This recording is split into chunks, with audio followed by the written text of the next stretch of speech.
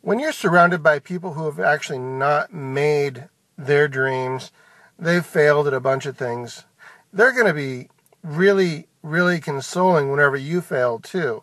And they're going to say, oh, yeah, well, that person over there has something that we don't. They do. That is called persistence and belief.